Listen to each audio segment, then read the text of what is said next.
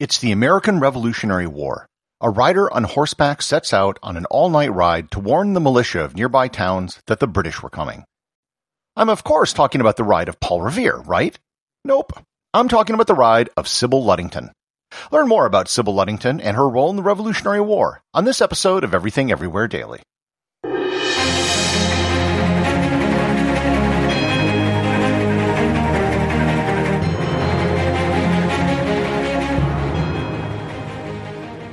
This episode is sponsored by Audible.com.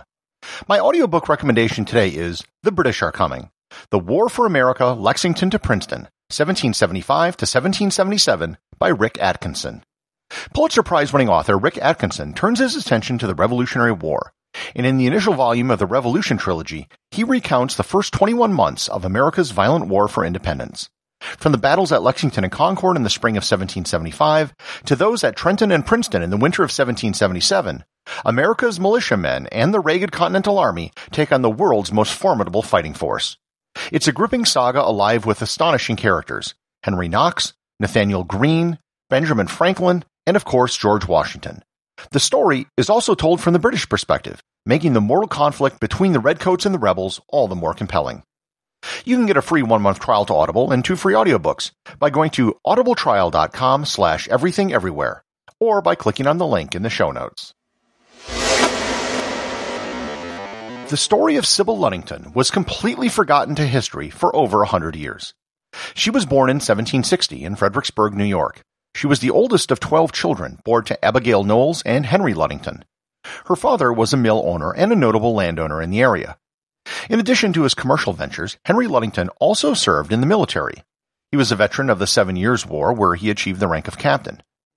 In the Revolutionary War, he was promoted to colonel and was appointed as an aide de camp to General Washington, and he was responsible for the largest spy network in the war. After he died, in his will, the land on which his mill was located became the basis of the town of Ludingtonville, New York, which still exists today.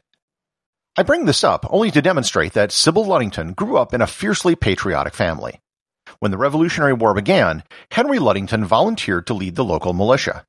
As a result, Sybil and her family had to move from place to place as camp followers with the militia group. Prior to her famous ride, she showed bravery in the face of hostile forces. The American colonists were firmly divided between patriots, who wished for independence, and loyalists who wanted to remain part of Britain.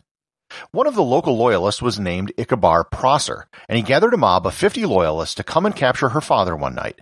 Sybil organized her siblings to light candles and put them around the house, and then to march outside like they were soldiers. The mob couldn't see that clearly in the dark and thought that the house was guarded by military men and went away. The night in question that gave Sybil a place in history was on April 26, 1777. Sybil had just turned 16 years old. On the evening in question, a rider came to their home to tell her father that the British had attacked and burned the town of Danbury, Connecticut.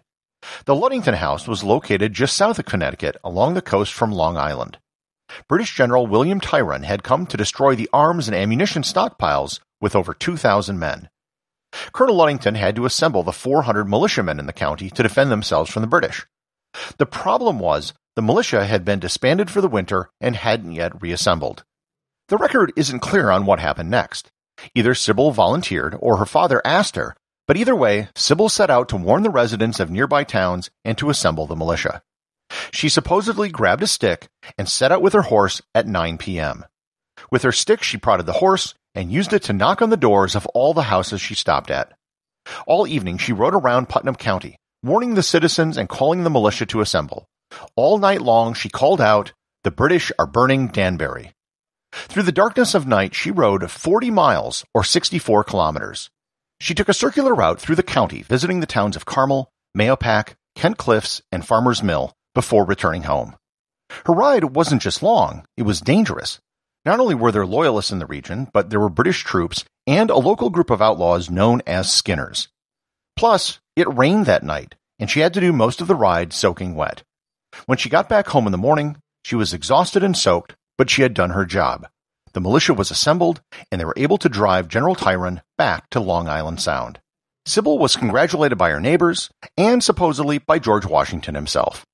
Just as a point of comparison, Sybil's ride was three times longer than Paul Revere's, she did it in the rain, and she did it during the war when there were actual enemies about. Paul Revere's ride was done just before the war started, and there wasn't any danger from the British yet. Sybil Ludington's ride was mostly forgotten after the war. Her story wasn't put into print until the year 1880, 103 years after the ride took place. A local historian named Martha Lamb wrote her story in a book about the local history of the area. There was debate amongst historians as to the historical accuracy of the story. It's believed that the story is generally true, but parts of it might be fictional. The primary documentation comes from a memoir written by Henry Ludington's grandchildren which tells the story. In the years since the story was published, Sybil Ludington has been lionized in several different forms. In 1961, a bronze statue to her was erected in Carmel, New York. In 1975, she was the subject of a commemorative stamp in the lead up to the bicentennial.